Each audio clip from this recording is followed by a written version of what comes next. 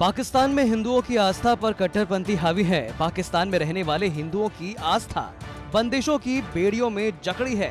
कराची में एक बार फिर पाकिस्तान ने हिंदुओं की आस्था पर गहरी चोट की है। पाकिस्तानी कट्टरपंथियों की एक भीड़ ने कराची में अपनी काली करतूतों को अंजाम दिया। ये वारदात कराची के लियारी इलाके में हुआ। यहाँ कट्टरपंथियों की भीड़ ने एक मंदिर पर हमला बोल दिया। इससे पहले कि मंदिर के पुजारी और वहाँ मौजूद लोग कुछ समझ पाते कट्टरपंथियों ने मंदिर में जमकर तोड़फोड़ की। इन कट्टरपंथियों ने सिर्फ़ मंदिर ही नहीं तोड़ा, अंदर रखी भगवान की मूर्तियों को भी खंडित कर दिया।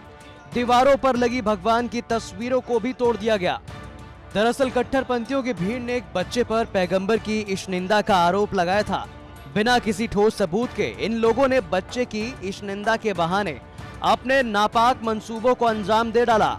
इन लोगों का असल मकसद मंदिर और हिंदुओं की आस्था पर चोट पहुंचाना था। इन्हें और कोई बहाना नहीं मिला तो इन्होंने एक बच्चे की बातों की आड़ में मंदिर में जमकर तोड़फोड़ की।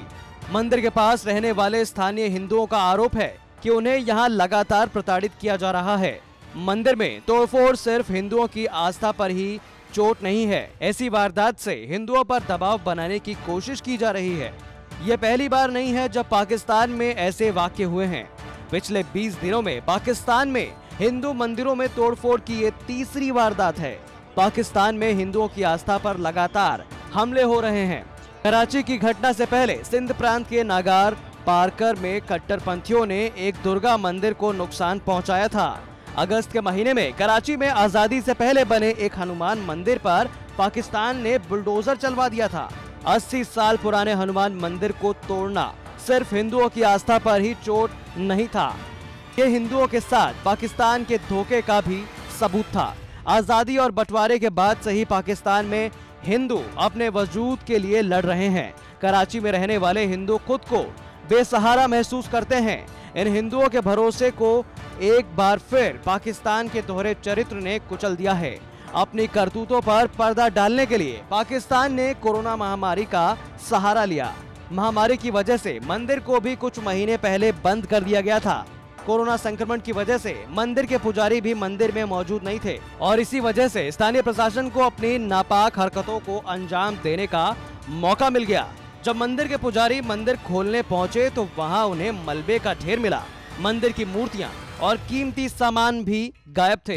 फ़िलहाल ये मंदिर हिंदुओं के लिए सिर्फ़ आस्था का प्रतीक ही नहीं था।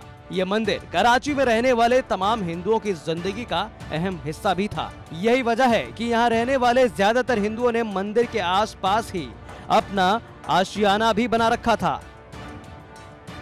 लेकिन पाकिस्तान सरकार को इन परिवारों के आशियाने पर भी रहम नहीं आया। प्रशासन के बुलडोजर ने इन हिंदुओं के मकानों को निस्तानाबूद कर दिया। इन तमाम हिंदू परिवारों के सिर से उनका आशियाना छीन लिया।